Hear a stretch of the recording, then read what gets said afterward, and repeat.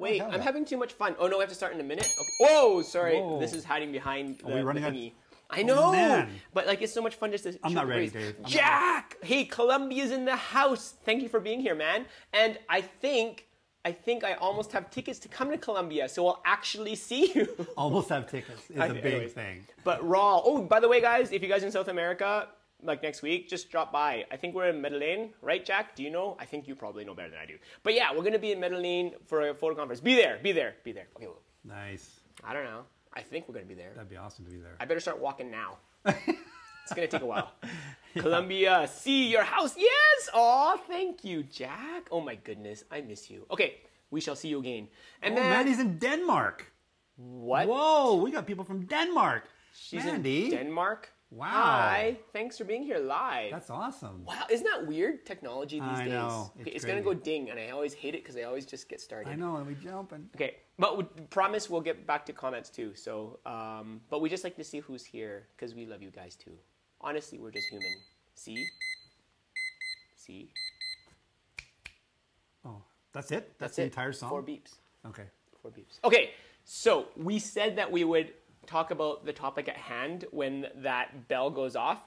So you can either leave now or join in now. But I am so glad to have Tim here because he has been somebody who inspires me and I've really looked up to since I've met him. And like that was like 12 years ago when we moved to Calgary and we were looking for a church and i remember going to a whole bunch of different churches and uh, we went to your church and the speaker was okay i think it was you um, but what was really cool was there was dessert Boom. no joke i'm serious there was dessert this is kind of like yeah kind of but no i think there was cake Oh, nice. Seriously, but that was that wasn't even enough to draw me in. Seriously, um, because our kids were like what three and or no maybe two and four, really young, and they were sticker pots. Like they wouldn't leave Quinn's side. like Oh, not really? me. It's all about Quinn, right? Mama, Mama's boys. And so I remember Benjamin. Good to have you here, man. Um, I remember that Luke, Hannah, and all your kids. I've got a lot of kids. Yes, I just have six. I can't count that high. You can't put them on one hand. You okay. Put them on. Some people can. Whoa. They are. Mind I met the six-fingered man.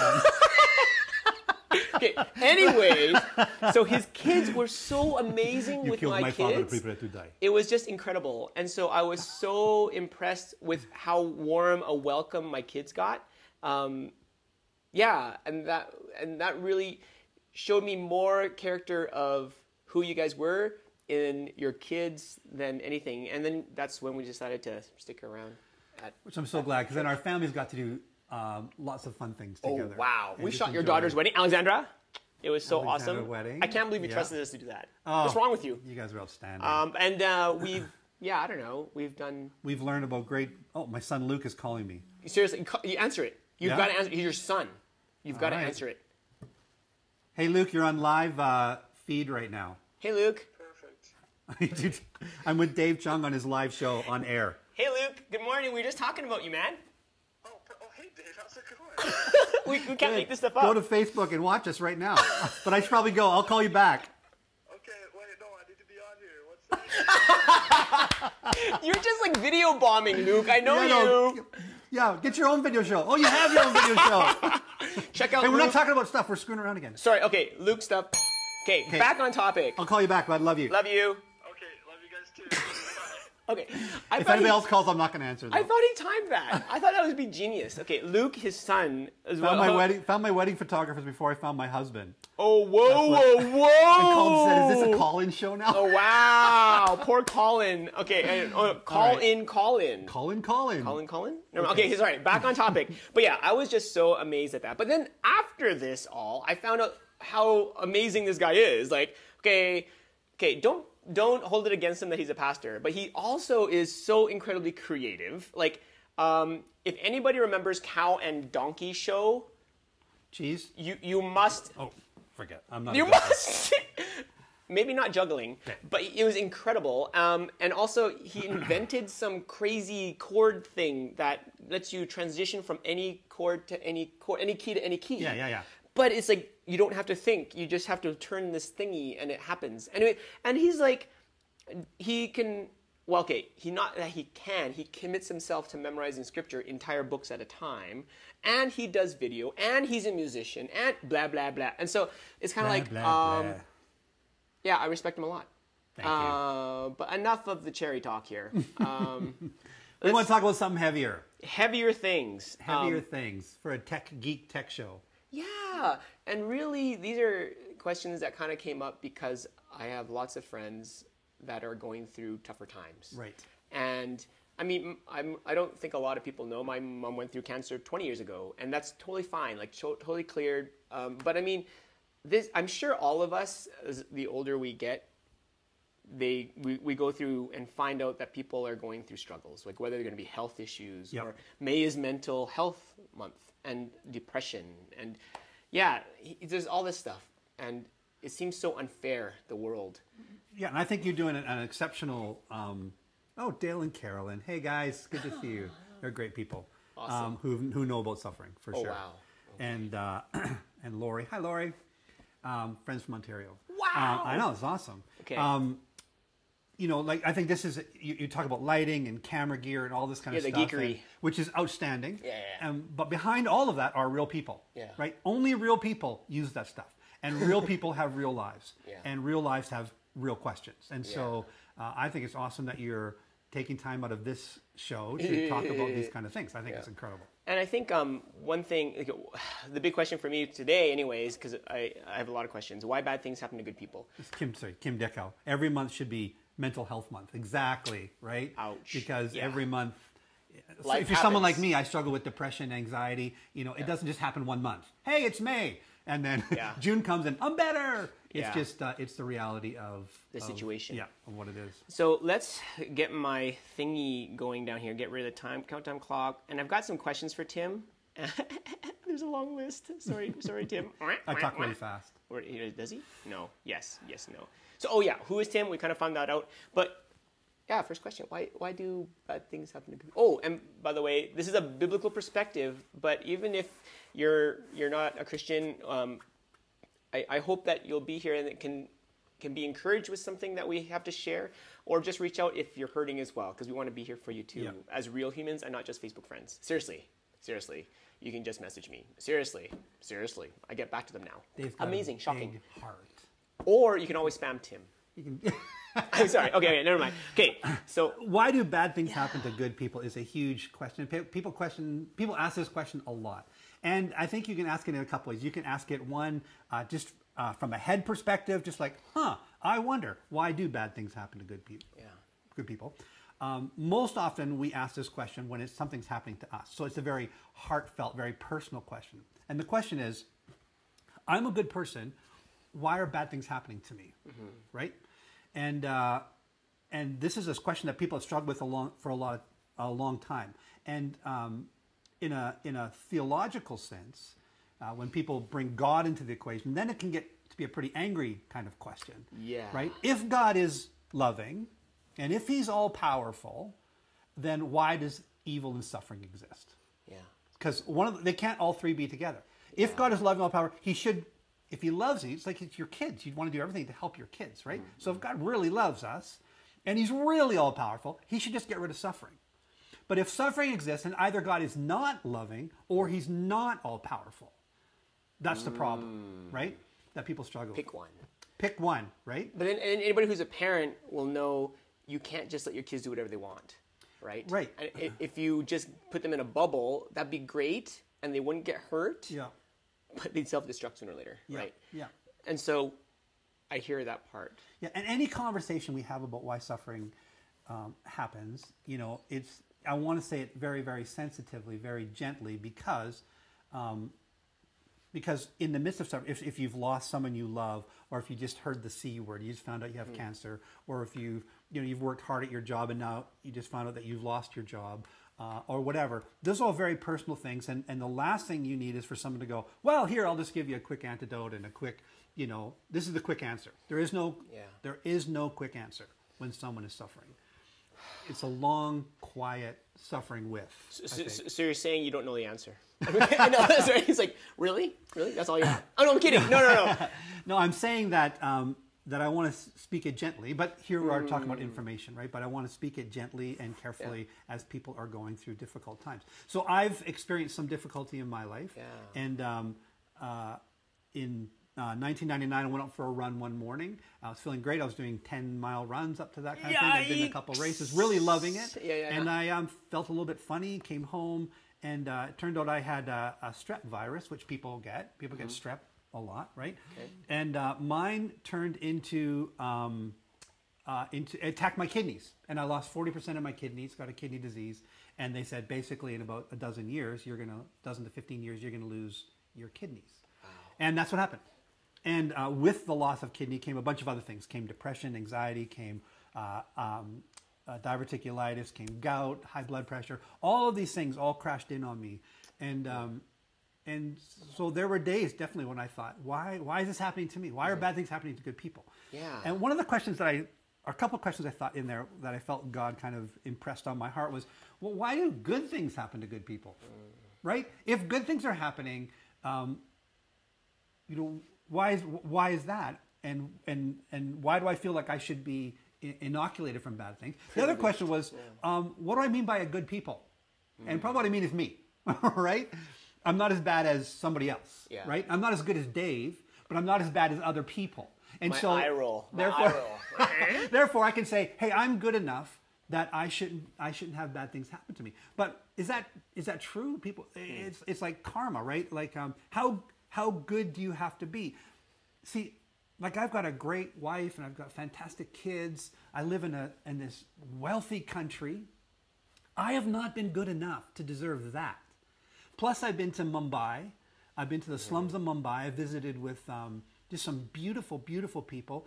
Uh, I met this little girl. I remember just I remember seeing her sitting on a garbage pile of garbage in her little sundress um, and raw sewage, you know, running beside her, and she's playing with a little toy of something. And I thought, really? So she deserves that? She's been so evil that she deserves that? No, karma can't.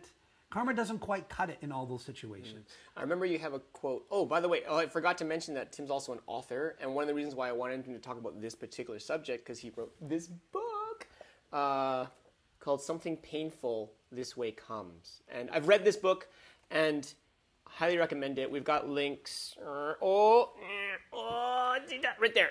DQ, good, bad. Okay. Yeah, and Um, we're going to give away a couple books. we today. are? Oh, yes, that's too we are. generous. We're going to Um, give away for so people that are watching. We'll put your names in a hat, and we'll give you. We'll send these two books out. The other thing, um, like you have a quote from Bono.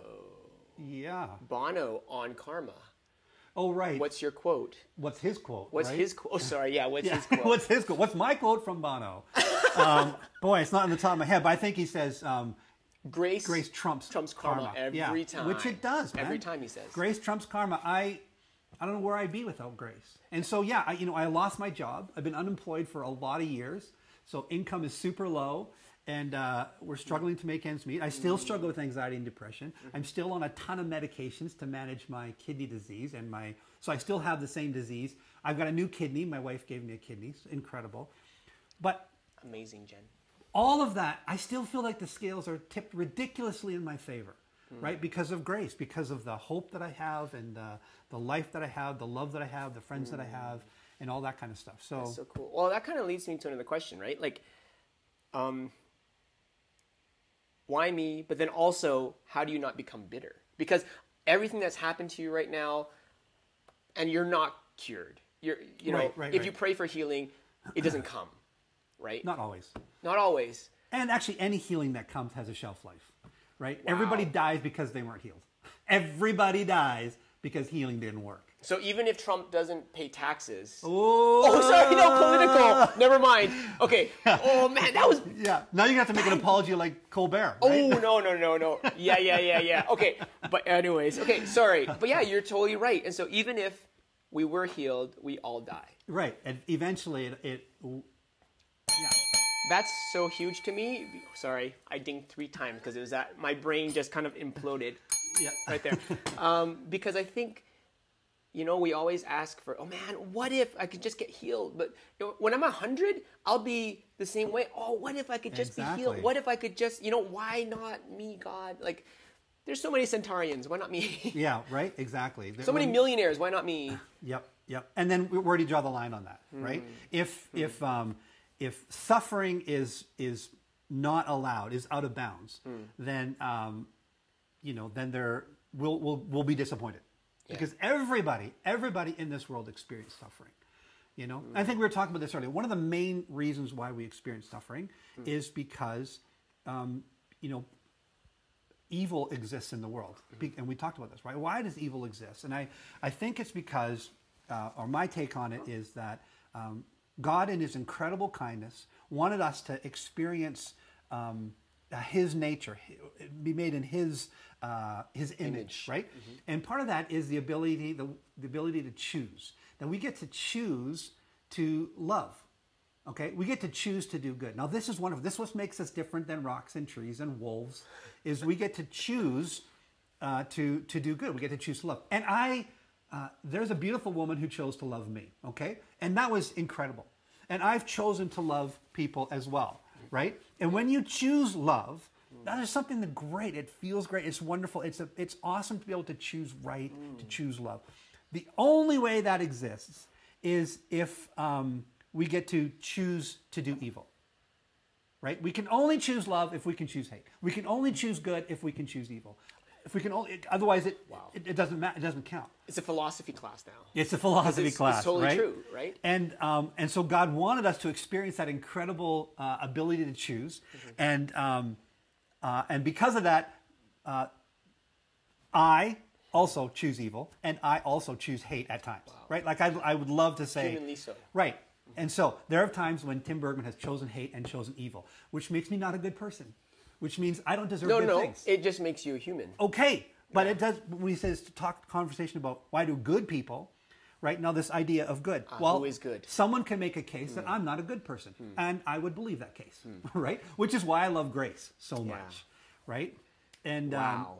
and to me, the the the God component in suffering. Um, you know, God is not a genie in a lamp that I just sort of rub the lamp and He does exactly what I want. He's never been really good at that game. Um, and uh, But he probably could be. but he probably could be, but he's not into it.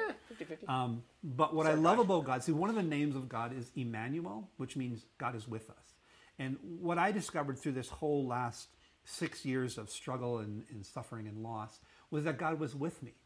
And, um, you know, we like to think in, in well, North America, in my country, Canada, that, um, you know, if you want suffering to go away, if you want life to be easy, well, you just pay for it. You can afford that. We'll make it happen. Uh, this is not true. Yo, In this is why in, in Dave Daily happens because I want to make people comfortable, life hack, figure things. Yeah, but you're totally right. Yeah, yeah. If you want, Comfort you're hungry, ease. you go to, and you want to cook, you just go out and get. You can order. Someone bring you pizza. We'll bring food to your house and feed you probably if you pay them enough money. Skip the dishes. Skip the dishes, yeah. right? And um, uh, but this is not true for most of the world. Yeah. And um, so, if, if if the answer to suffering, if the if the real answer to suffering is, hey, just get rich enough to pay off all your discomfort, Yeah. then this is not an answer that is that can translate across the world. Okay, This is really weird and related, but seemingly not related. But I was just reading a, I was listening to a st- uh, podcast on fitness. Oh, Okay, stick with me for a second here, because yesterday we just talked about ketosis. But they were saying, okay, how do you prevent the effects of aging? And a lot of it has to do with stressing your body out.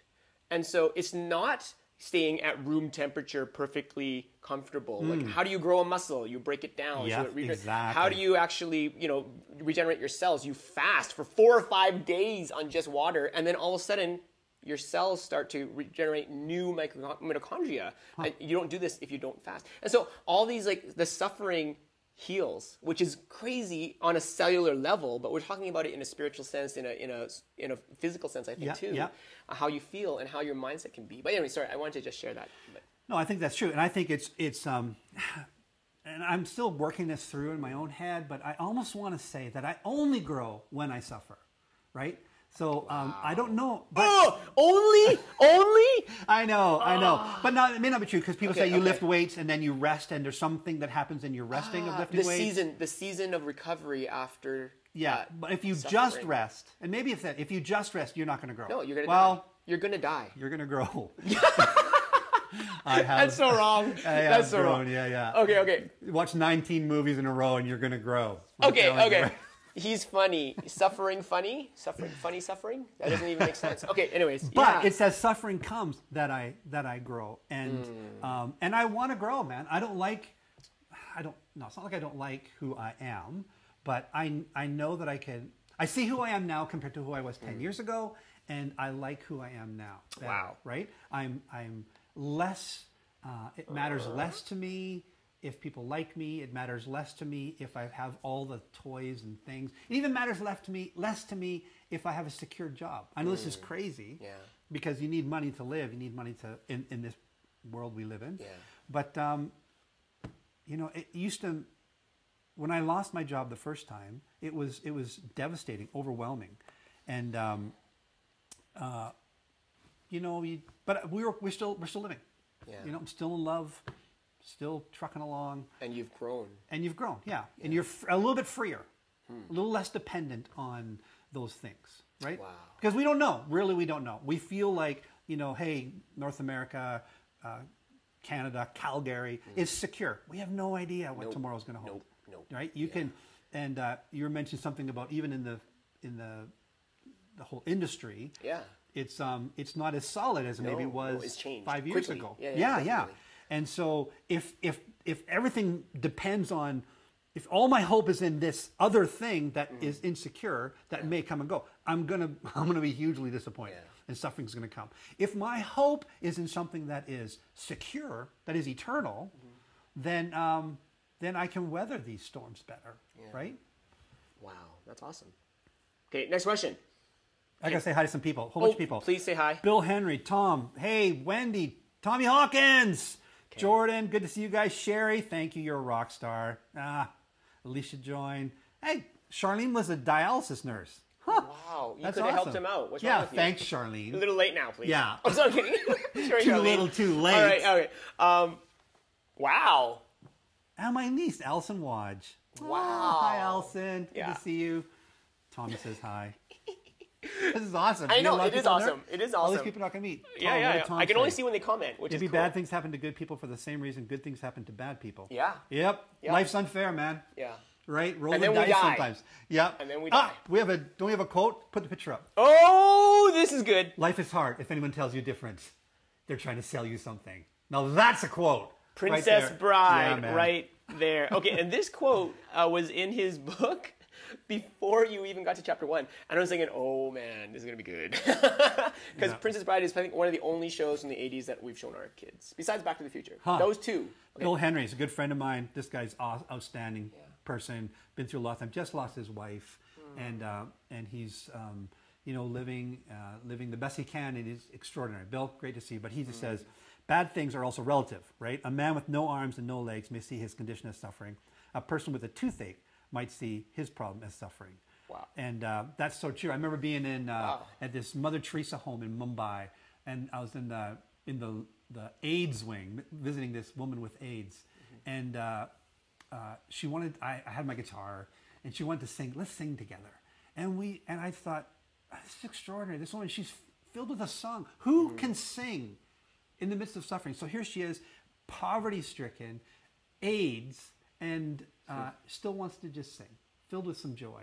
And I think, you know, um, you know, I look at my closet and I say, I don't have all the clothes I want. Man, I'm suffering. Ugh, the comparison is ridiculous, Yeah, right? So it's your attitude, right? It's just, you said, how do you keep from being bitter? Or maybe the question is, why would you keep from being bitter? Why would you keep from being better? Why is that a good question? Sorry, answer, because answer. I think you can just add so much suffering to your to your life by being bitter. Like whether Ah. you're bitter or joyful doesn't change the let's say let's say this is the suffering you're experiencing: cancer, uh, loss of a loved one, Hmm. uh, loss of a job, confusion, doubt, whatever your suffering is, kidney disease. Uh, whether I'm bitter about it or joyful or content or Mm-hmm. peace, it doesn't change this at all. But bitterness will add more weight to the problem. Will add more suffering. you can't right? change it. You can't change the situation Right. by being bitter. Right. Yeah, exactly. But you can add more headache to it by being Mm-hmm. bitter. It's just more stress and anxiety and fr- frustration, and troubles. Mm. But joy, I think, can bring lift to to this. Can help you actually lift this a little bit.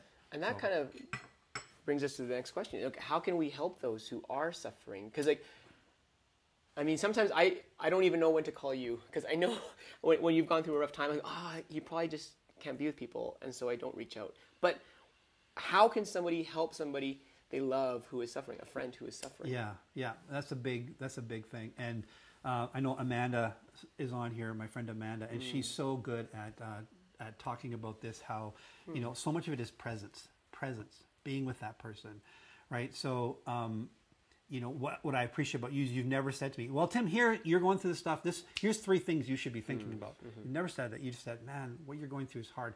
Validating my struggle, my suffering, loving me, uh, giving me the space, um, you know, teaching us how to make good pizza dough and all these things, right? That's Quinn, yeah. And just that was Quinn. Yeah. But um, just that that kind of relationship, that love that we can uh, share together. Mm-hmm. Um, when people are suffering, oh man, good friends on here that are that have Mm. shown up aren't in the list already. There's been Mm-hmm. lots of them. It's been incredible. They lost their their son, Oh. and um, ah man, the pain of that is just overwhelming. Mm. And there's nothing to say but presence, just to be there and to. And this is why I love the name Emmanuel, God with us. God is with us through this all, and He knows suffering. You know when you talk to somebody who's who uh, who under, you know they've been through suffering because you see that look in their eye, hmm. right? That they they get what you're kind of going through, as opposed to someone else who kind of they don't understand your your pain, mm-hmm. right? And they kind of so they say they throw off some pissy answer mm-hmm. or they you know just not really listening or something. Yeah. But someone who really understands, they look at you different. Mm-hmm. And God is one who understands suffering. God became man and through Jesus Christ, and He suffered, right? So I, when He looks at us, when He looks at you and your suffering, He doesn't go, "Man, sucks to be you." He looks in your eye and goes, "I know, I know what you're going through. I've been through it, and I'm with you." And and um, this is the answer that that uh, Christian faith brings is that Jesus says, "This is it's not over. This life is not all there is. There is a hope of another life coming." Wow. So Kim Dickow says, "Learn to be fluent in silence. How we sit with hurting speaks louder than how we walk with the great." Oh, I love that. Outstanding. That Read that is again? so cool. Yeah. Learn to be fluent in silence. How we sit with the hurting speaks louder than how we walk with the great. This And is I, I, I like to fill space with words. And Yeah, yeah, yeah. I, I talk a lot, as anybody of my friends would attest to. And the one thing that, that is so poignant. Thank you for sharing that. And but I have found that the friends that I know who really have struggled and gone through loss or gone through pain or you know losing a loved one, a parent.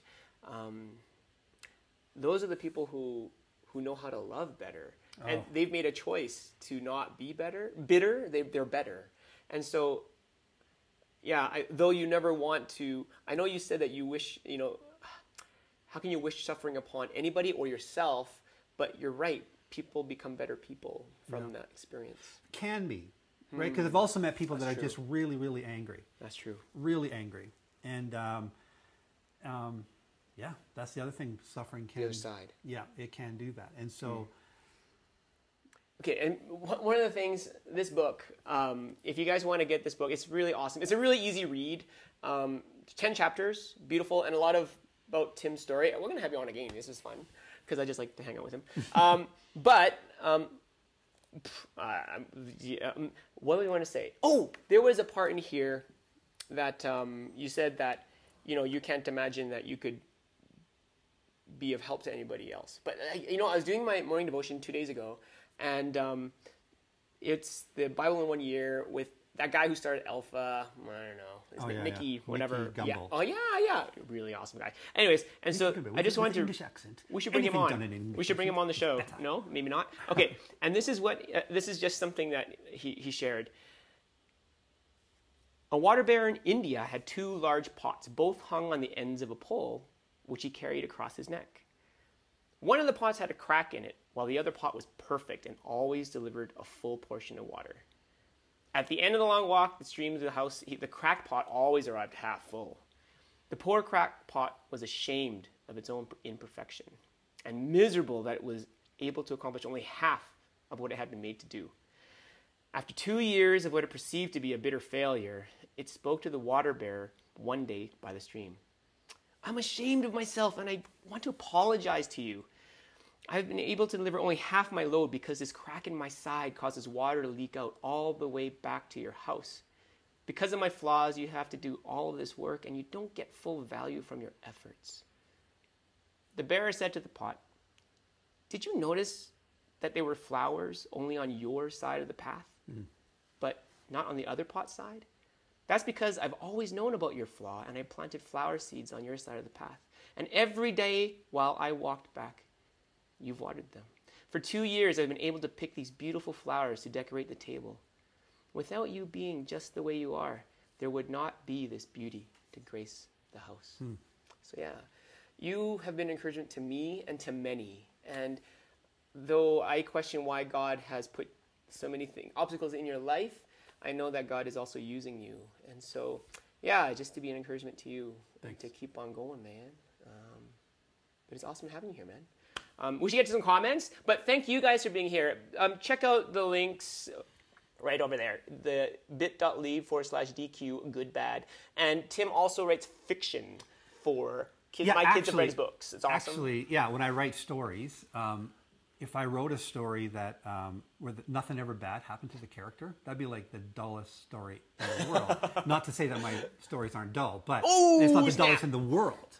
And um, so, what I with my characters, I want to make it miserable for them. I want it to be obstacle after obstacle after obstacle because I love them so much, and I know how the story's going to end. okay, God put so much misery in his life so he could write this book because it's like, oh my goodness. When I read what you had to go through, it's like, oh my goodness. It's like, what? Since you were a baby, what happened to you? Okay, no, but very cool. So, thank you guys for being here. God bless. We'll see you guys tomorrow. But we'll also we'll go to some comments now and we'll just shoot the breeze for a little bit more because we're having too much fun.